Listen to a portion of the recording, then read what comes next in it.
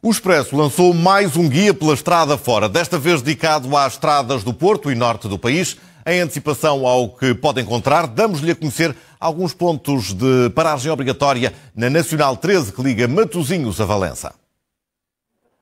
Quando eu casei, os frangos que vieram já foi daqui. Vai, vou fazer 48 anos de casar e os frangos já foram daqui. A minha sogra veio com uma bacia à cabeça das Caxinas, buscar os frangos assados aqui a pé e levar a pé outra vez. Para Hilda Cunha, esta já é quase como se fosse a segunda casa. Mais do que duas, três vezes na semana. Sempre que é possível, alguma família ou sem família, ou eu e o marido, vimos sempre aqui. Adoro, adoro frango. Acho que não há em lado nenhum melhor frango do que este. E para nós, é a primeira paragem nesta rota pela Estrada Nacional 13. Por dia vendemos a volta de 800 franguinhos. Temos takeaway, temos o drive que também uh, fez dois anos. O restaurante existe desde 1963. A casa cheia acontece, por exemplo, quando são 11, 11 horas praticamente, começam, às vezes andamos a limpar, a fazer a limpeza, as pessoas aguardam aqui um bocadinho, e nestes dias de sol, quando for eh, meio-dia, já não temos mesa, está tudo cheio e a fila chega, chega lá fora um bocadinho tem aqui aquele povo perto, não é? Há pessoas que vêm de Moção, de Melgaço, e também ajuda um bocadinho, a passagem para o Porto e tudo, e aqui é obrigatoriamente uma casa de, de paragem.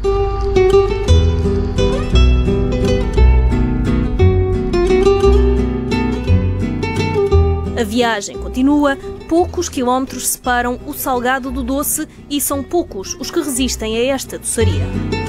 Clarinhas é nada mais nada menos que um pastel de massa terra recheado com um doce de chile, em que é produzido na minha família há muitos anos.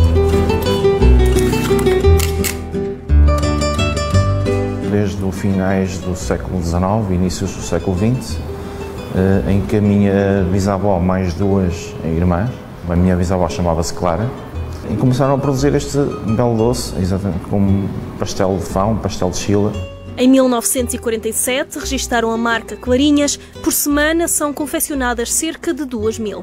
É um doce que, que, é mais uma passagem que toda a gente, quem passa aqui por Fão, uh, vem degustar as clarinhas e, e, não só mesmo quem passa por Fão, há pessoas que vêm de propósito mesmo, ao fim de semana, uh, degustar as clarinhas porque, porque é bom. É um doce muito bom. Fão seguimos caminho e chegamos a um dos locais mais pitorescos, entre Viana do Castelo e Valença, com o Oceano Atlântico como companhia e muito para descobrir, como o Forte da Inso, monumento nacional desde 1910, ou a Muralha de Caminha. E se muitos aqui passam de carro, muitos também o fazem a pé, a caminho de Santiago de Compostela. Com 117 km, a Nacional 13 liga Matosinhos a Valença.